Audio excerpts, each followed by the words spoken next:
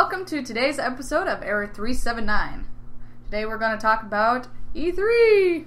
Yay! Yay! Which just happened over the past few days. I think it just ended a couple days ago. Um, so we're going to be discussing games. How long is it? Uh, it's like four days.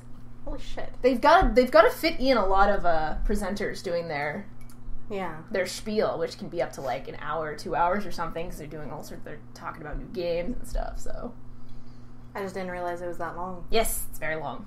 Started on like Sunday. Yeah, it's I like know, a 'cause full I was blown at- convention kind of thing. I know because I Pretty came. awesome, I, I woke up the next morning after getting home at four thirty in the morning to like this explosion of E three on my dashboard. It was just like everywhere. so people were watching that while I was at work. So we're actually going to be reviewing a drink. It's going to be very exciting because. Would you like to tell us your opinion on beer? I think it's disgusting. Well, believe it or not, we found a beer that you'll drink. I think you're a liar. Hmm, Well, let's try this. Should we blindfold her? Nope, I'm just gonna pour it into her glass. She's not gonna look at the bottle. I don't want to drink it. You're gonna want to drink it. It's a beer.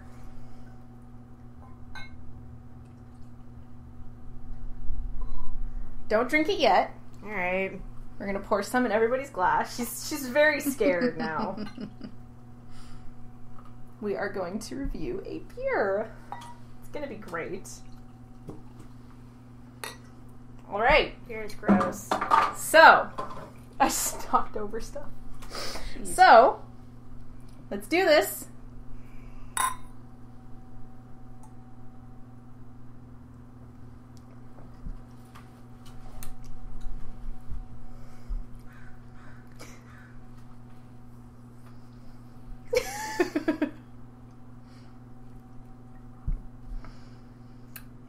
Is this fucking spiked root beer? Actually, no. It is literally What even? it's beer. Nah. Ale with the taste of spices. It is beer. That's weird. The spices they use make it taste like root beer. It's called Not Your Father's Root Beer, Huh. but it actually is beer. That's weird. But delicious. Is it really a is it really a beer though? Yes. It is. Uh, it is a beer. It tastes like root beer. exactly. Just with like I'm so confused. It is root beer. Not root beer. It is beer that tastes like root beer. Yeah, it tastes like root beer with like a shot of vodka or something. Or maybe not vodka, but it's got it. I'm, I, I don't know how to feel about this. I don't, I don't know how to describe what this flavor is outside of root beer with like spiked something. This is good, actually. Told you.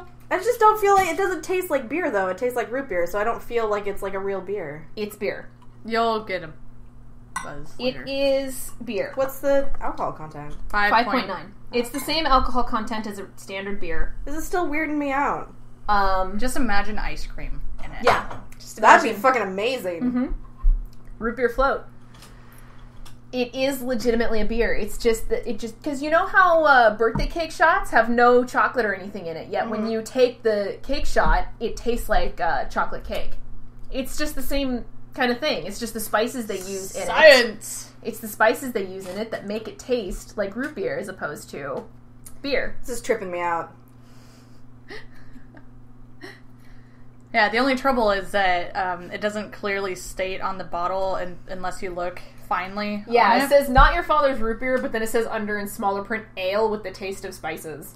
So that would be bad to have in a house where children would probably go to grab it out of the fridge. Yeah, thinking it's It's legit root beer and it's legit beer. So what do you think? it's pretty good. Did we find a beer It's you'll drink? really it's really weird, but it's good. But we found a beer you'll drink. Obviously, I've practically been chugging this. So awesome. That's cool. Right. So, Where'd you even where'd you get it? uh, QFC. Oh, okay. You can also get it at Bevmo, according to the website. You can get it at Fred Meyer.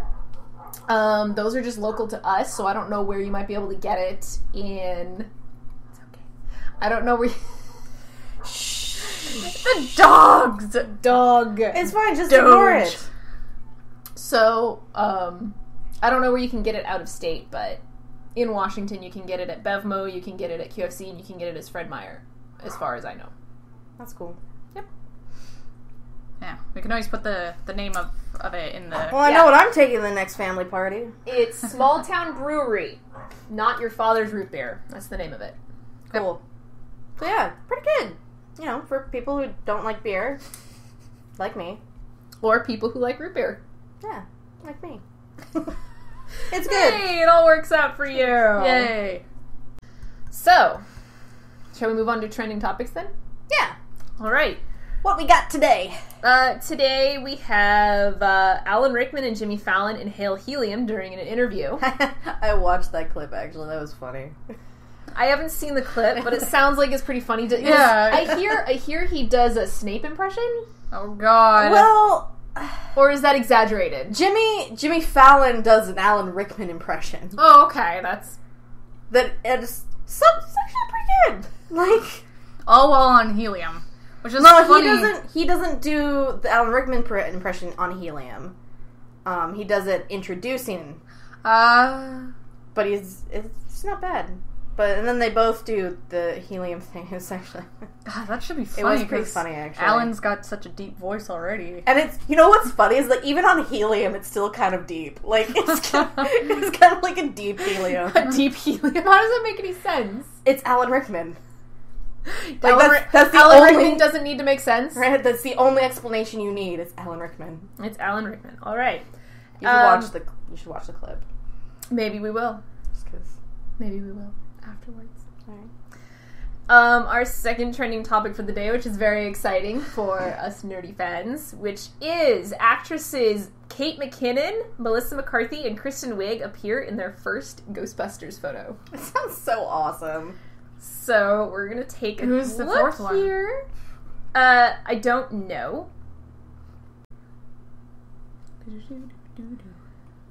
Sweet hair. I love it. It looks interesting. So it looks like we've got Melissa McCarthy and Kate McKinnon here. Move it over. Huh. She looks exactly like the. Like Yeah. the- that's that's funny. That's. I'm really excited for this now. Like I like this whole like gender And swap thing going uh, on. here's uh, Kristen Wiig. oh my god, it's adorable. So I'm not entirely sure who they're going to be playing. Do, do we know? Yeah, sort. I don't know. I mean, you, I feel like we could probably guess, but well, Yeah, I feel do- like Melissa we- would be. Um, I know, but I'm saying, do we know if they're going to be gender swapped versions of the characters, or are they going to be their own version? I don't know. is there? I actually don't know anything about. Like last I heard, it was still just a rumor. I didn't know that they were actually going Is through. there it. a, an IMDb page with any information? Uh, let's check it out. I'm sure there is at this point. Yeah, something with like. I just think it's really cool that they're doing it this way. I, I am so excited.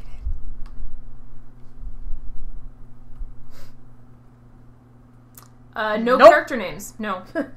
Damn, not even close. So When when did Ghostbusters come out? uh, the original. Yeah, This it looks like this one is going to come out next year, that's Yay. pretty awesome. July twenty second, two thousand six. 2006, 2016. I was gonna- July 22nd. We're going back in time. Just saying.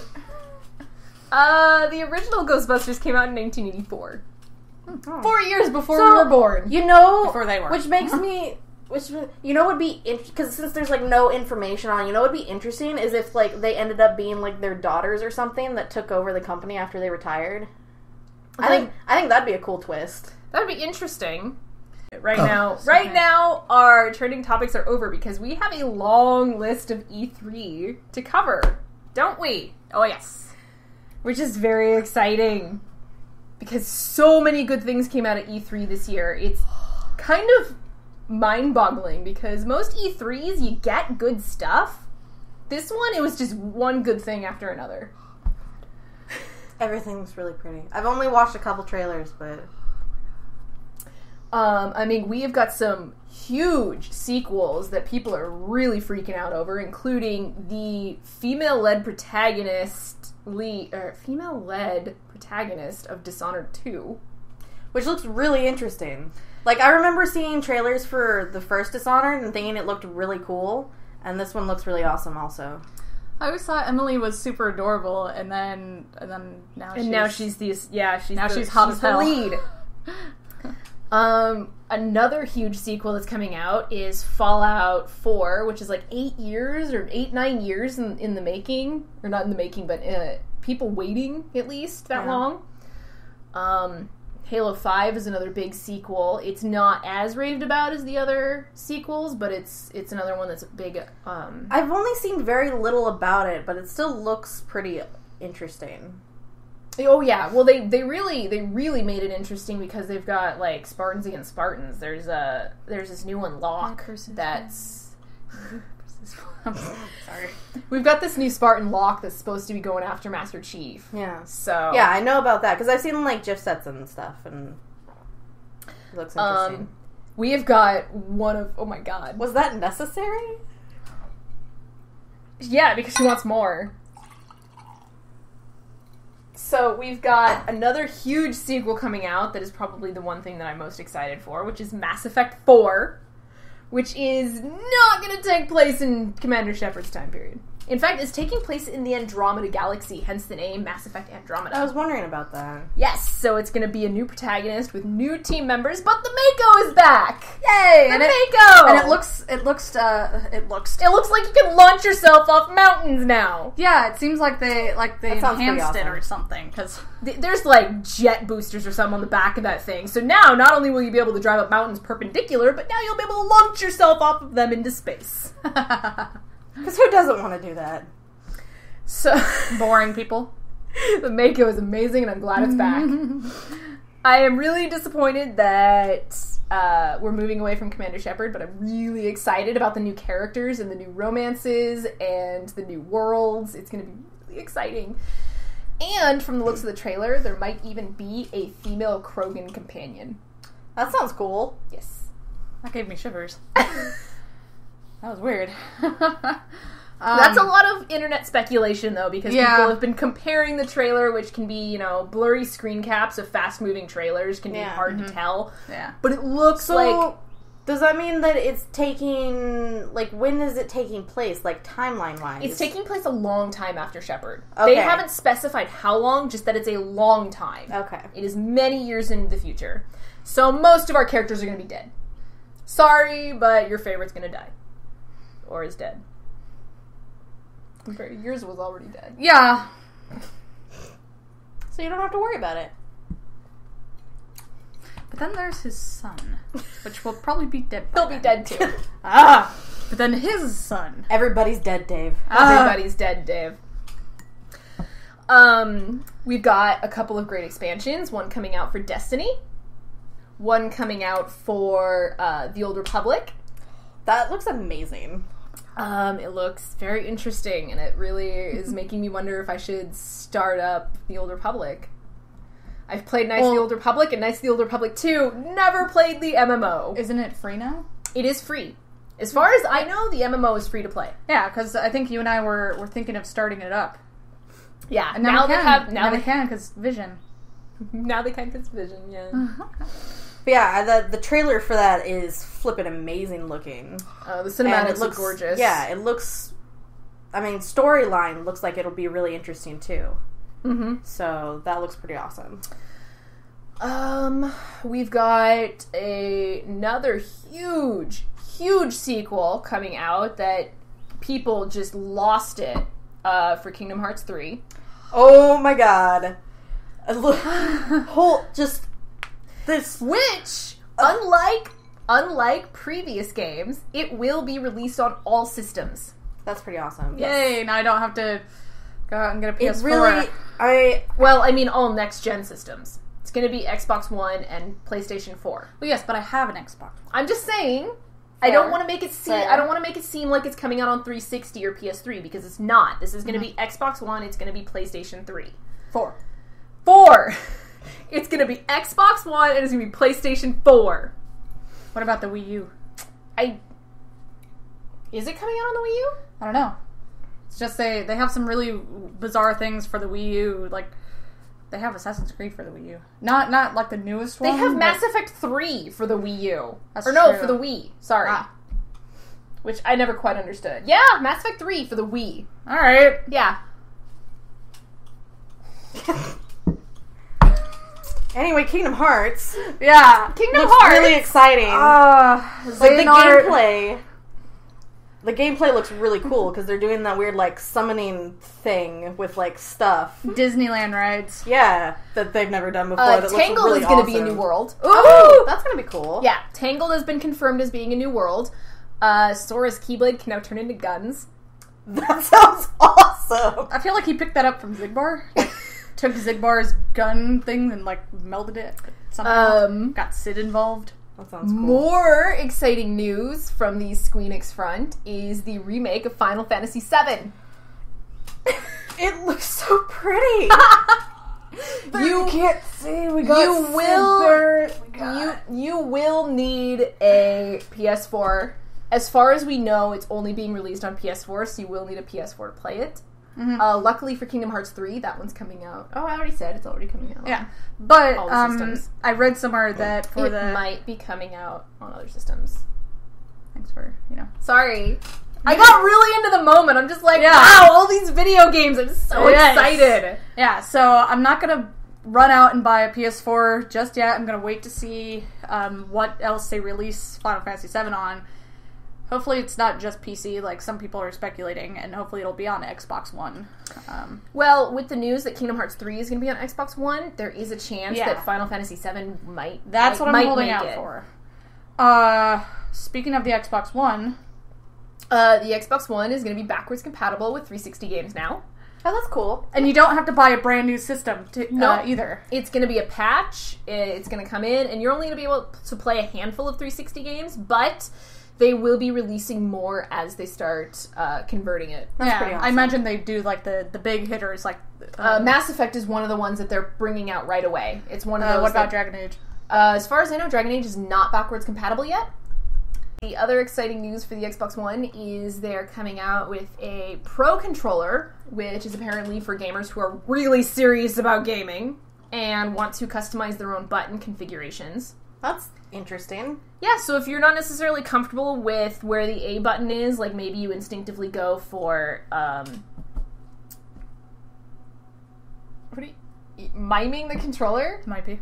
but so if you're not comfortable with the A's, you can move it. Uh, you can swap it with others. From what I've heard, Huh. it's supposed I to be customizable buttons. You're supposed to be to be able to configure it in any number of ways that will make them. That sounds pretty cool because you know how you go from game to game and uh, each one Each system has like a different, Different- configuration of buttons. Yeah. Uh, like I was playing a whole bunch of Kingdom Hearts stuff, and then I would jump back to Xbox, and I was like, "Controls, what are these?" Or just one console itself, going from different Halo games, and the controls are different. I was like, "What's weird? Reload? Is this reload? Grenade? Crap." like, I need more bullets, grenade. Not what I meant, but it works. Instead of shooting that brute in the head, I just blew him up. Legit. So, uh, we also have uh, news that they're developing Minecraft for the HoloLens, which, if you don't know, the HoloLens is supposed to be a virtual reality device that you wear. Oh, that sounds cool. Um, from what I've seen of the previews, it looks like it's supposed to uh, outlay the map, the Minecraft map, on like a table, and you're supposed to be able to like move it. That sounds cool. Yeah, so it's not it's not going to be an immersive thing. It's more like you're the overlord. That's From what I've seen, that sounds like some Stark technology shit. uh, yeah, isn't it? People will look onto me as though I were a god. Back to video games. Uh, we missed a big one. What? Mirror's Edge Catalyst. right. We've got Mirror's Edge Catalyst. We've got Assassin's Creed Syndicate. Which looks Uh, awesome. Assassin's Creed Syndicate features twin protagonists who is, for the first time I've seen in gameplay, you can actually switch between the characters. That's cool. Uh, however, the main storyline is still going to focus on Jacob, sadly, even though Evie is totally a boss. Yeah, well. She is a boss. Um, but it takes place in London, uh, like Victorian London. It's got elements of steampunk. oh, that's cool. Um, uh, Mirror's Edge Catalyst. Can I What? just say something about the the Assassin's Creed trailer that I watched? What what is with the high speed carriage chase? Like I couldn't I couldn't decide whether I should have been taking that seriously or not. To be honest, Like- I've, I've never taken the high speed like carriage cases seriously. Like, Um, because this isn't even the first game that's done it's it. the first time I've seen it, and I was just like, "What?" because there's been like there's been like car Because then chases there's like that slow. Because then there was like that slow motion, like off the bridge action. And I'm just like, "What is happening?" like this both looks amazing and ridiculous. It has not been the first high speed carriage chase. Let me tell you. I just. I just, this, I think that was one of the things I found most amusing about the trailer. Like the whole thing is amazing looking, and I can't wait. But like, just the high speed carriage chase through the streets, I'm like, what? So anyway, um, yeah, exciting E3 news. Have we covered everything, or am I? Are you gonna look at your notes? Oh my god! Yeah, stomach muscles. Well, you did do those crunches last night. I did. This green tab is erythrocyte. Whoop. There we go. Um. Got it. Got it. But we didn't really. Oh, we've got some really exciting, and that's Unravel. Ah. It looks Unravel- adorable. Unravel was the hit of E3 mainly because the presenter of Unravel, one of the game developers, came out with his own little little Yarny. Yarny, which is the main character. Uh, he handcrafted it. He was so shaking and so nervous and so excited to share his game, and the game looks adorable. Plays little yarn guy going through different uh, kind of sceneries, you know, wintry woods and autumn leaves and It's a fun puzzle game. rivers and But yeah, Tumblr kind of took him and flew off on uh, um, Precious Cinnamon Roll. yeah, he's now apparently the precious cinnamon roll. Um, we've got uh, we've got Recore and Tomb Raider, which are another uh, couple more um, female-led games. There was a lot more female-led games this E3. Yeah. A lot of sequels and a lot of female leads. So Yeah. Recore. Have you seen the trailer for Recore? I've never even heard of it. Recore. Well, it's an original game. Uh, Okay, I just Recore. can't get over you just like just saying that name over and over. Recore. Recore. It's like Recore, saying it more Recore, often is not going to make Recore. me realize what it is. so Tells me nothing. Recore looks like a female engineer with like a little robot dog, and it looks like she's in a dystopian world, like desert world. She's like the last living human, um, and all these robots. They've all got these glass like orbs that power them. Um, like their core, hence Recore, and it looks like you can actually take the cores and move them between bodies because in the trailer it was shown that the dog was killed, her dog companion was killed, so she took his core and replaced it into a different body. So That's neat. I don't know much about it other than it looks really interesting. It sounds interesting. Um, I uh, God, there's so many games though that it's like I don't even think we can cover everything that ha- that's going to happen. Other games that I don't necessarily think were introduced in E3, but are big games that are coming up are going to be uh, Uncharted 4. There's going to be Rock Band 4 coming in October. Oh, cool. There's going to be a new Animal Crossing game for the 3DS uh, that's actually not like your standard Animal Crossing. It's going to be like decorating other people's houses. Like you work as a home designer. Huh. Um, It's and fun. All the things you can do. and apparently there's some mysterious Zelda game that Nintendo won't talk about that they're coming out with for Wii U. So, a lot of exciting game news. Uh, bank accounts are gonna be depleted like planets from Mass Effect. Nerd joke. Yeah, they really are. So that uh, that about wraps it up for this episode of 379. So uh, thanks for watching. Uh, let us know what you're excited for, and uh, subscribe, follow us on social media. Thanks. Really? I don't know.